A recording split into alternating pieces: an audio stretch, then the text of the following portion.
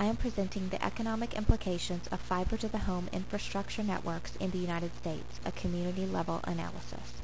I would like to provide you with a little background before I begin with the presentation. The principal reason for my interest in this topic stems from the happenings in my hometown where the city parish government is in the early stages of introducing a city-owned optical fiber infrastructure network and upon further investigation of the topic, I began to realize that numerous cities seemed to be naively entering into the planning phase of fiber introduction without any empirical evidence regarding the economic impact of fiber on the community.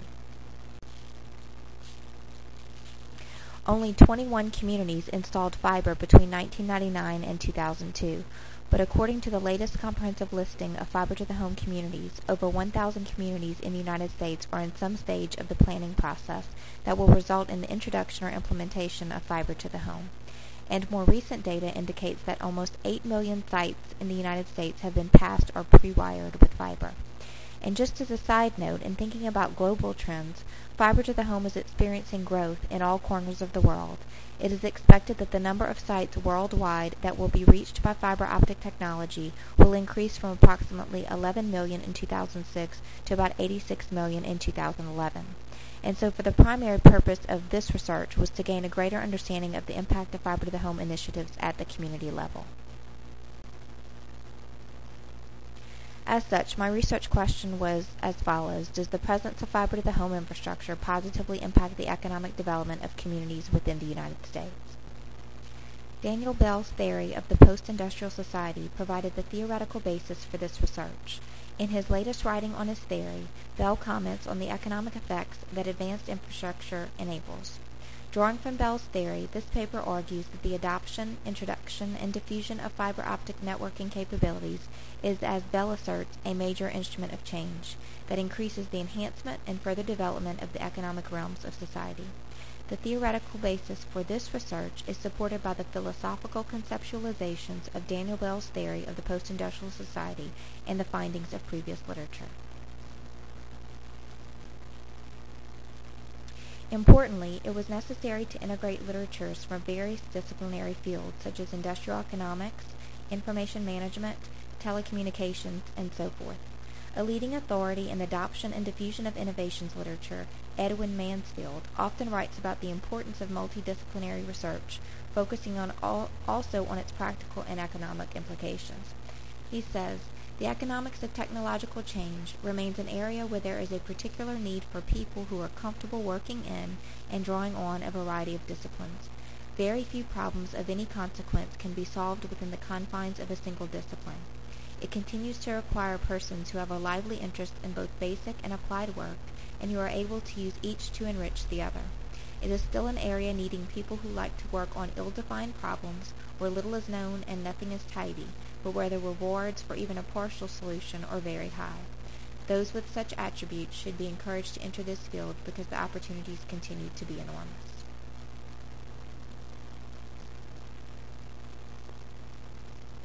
The economic impact of traditional infrastructure and telecommunications infrastructure has been studied for years. It has evolved from a focus on roadways and waterways to more of a focus on telecommunications, specifically telephones, which is a specific communications medium. Hardy conducted one of the very first studies on this and found that a strong positive correlation exists between the introduction of telephones and economic development. Later research on this topic conducted by Cronin and Roller and Waverman focused on identifying directional issues and determining causal relationships. Although examinations of the economic impact of specific telecommunications infrastructures are not new, the proliferation and innovation of fiber installations warrant renewed and extended investigation into this particular domain.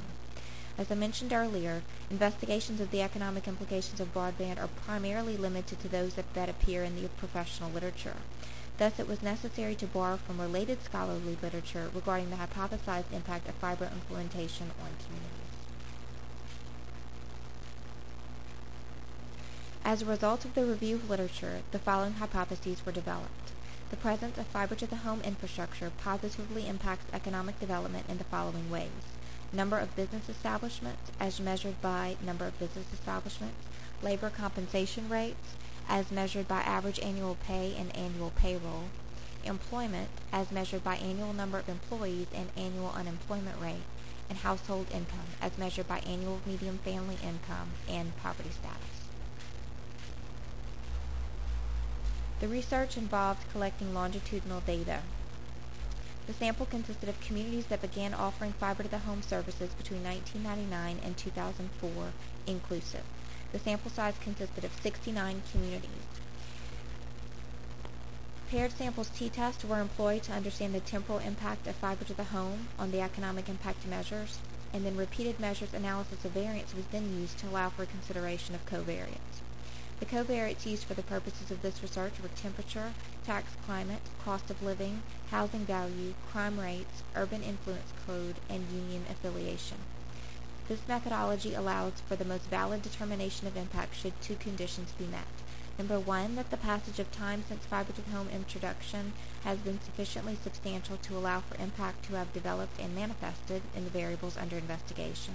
And two, that other potential determinants of economic health can be comprehensively identified and their influence isolated. This map shows the geographic location of all the communities included in the sample. You will notice that there is good geographic dispersion. It's interesting because in Kansas, for example, there are a whole lot of communities that have fiber to the home, and if you are familiar with the geography, you will notice these are rural communities. In fact, the majority of communities that implemented fiber between the 1999 and 2004 timeframe were rural in nature. The results of the paired samples t-test indicated increases in numbers of establishments, average annual pay, and annual median family income, while a decrease is evident in the annual unemployment rate. Results, however, indicate an increase in poverty proportions during the pre and post period. And although results indicate an increase in annual payroll and a marginal increase in annual number of employees, neither of these yielded significant results. To further analyze the impact of fiber to the home on the outcome variables, repeated measures analysis of variance was conducted. While accounting for the covariates, results indicate a significant increase in number of establishments, annual payroll, annual number of employees, and annual median family income between the two time periods. Overall, this research did reflect an apparent impact from installation of fiber to the home in communities, particularly in terms of specific outcome variables included in this design and even though it was under a relatively truncated time frame, it does offer some preliminary support for public policy decisions offering incentives or federal funding for fiber. To gain a richer understanding of the implications of these findings, this table offers useful and more in-depth information regarding the magnitude of the impacts. Theoretical evidence exists to support increases and or decreases in total employment as a result of technological innovations. Importantly, it seems that these results confirm this mutual effect that is suggested by economic theory, that while fiber to the home may create a higher demand for employees, this advanced technological infrastructure may also facilitate labor-saving mechanisms that could result in slower employment growth. More specifically, results indicate that the annual number of employees significantly increased between the two time periods. Further, it appears that time accounted for 16% of the variance. No statistically measurable impact, however, was observed with regard to the annual unemployment rate. The results indicated a significant increase in the number of establishments between the two time periods, with time accounting for 24% of the variance.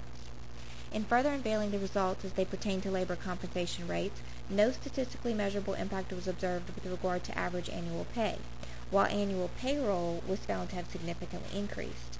In fact, 18% of the variance is attributable to time, Further, annual median family income was also found to have significantly increased between time 1 and time 2, with time accounting for 21% of the variance. And although poverty was intended to be a proxy for family income, it is perhaps more valuable to consider poverty as indicative of the significant economic difficulties and the need for turnaround experienced by these particular communities under investigation. Most interestingly, the results definitively demonstrated that communities with fiber to the home reported a significant increase in the number of establishments, annual payroll, annual number of employees, and annual median family income between the two time periods. And so there is an economic impact, but perhaps not as much as anticipated, at least not as of yet. Maybe in the long term it will get there, but what the communities need to do is to make efforts to maximize the potential utility and benefit of fiber to the home. and so what communities could do to facilitate this and to capitalize on the positive economic benefits are these things that are listed on this particular slide. There could be policy interventions with a focus on education and training to ensure effective use of fiber to the home, particularly for local businesses. There could be subsidies to achieve fiber to the home network externalities, including applications. There could be federal subsidies for implementation, use, and mastery of fiber technologies to move closer towards attainment of critical mass across communities. It is possible that businesses are not reaping the full benefit of the bandwidth that fiber provides because parties they do business with do not have access to fiber technologies. In terms of short-term cost recovery and long-term economic development, in the short term, the fiber services or costs may need to be subsidized, but in the long term and once the efficacy of fiber is proven and network synergies have been achieved, fiber to the home could be a significant economic advantage to the city. The property would become more valuable as more companies and therefore individuals want to locate to this fiber to the home community. The presence of fiber connections on a particular property will thus add additional value to the land, resulting in long-term increases in property taxes. The increase of individuals within a community will also increase the amount of goods and services that are purchased in that community and therefore increase sales tax in the long term as well. The debates surrounding fiber to the home initiatives occur mostly at the local level, thus making it a substantial local policy issue. Perhaps the Department of Labor or the Department of Commerce could come up with some measure of gross domestic product at the community level. This would be helpful in providing a comprehensive snapshot of current economic conditions within a local area. Also inherent in these issues surrounding data collection are measures specifically related to fiber to the home. I am primarily speaking of the standardization of such metrics as diffusion and penetration. Capturing and standardizing this data would be very helpful in advancing research in this area. Thank you. This concludes my presentation.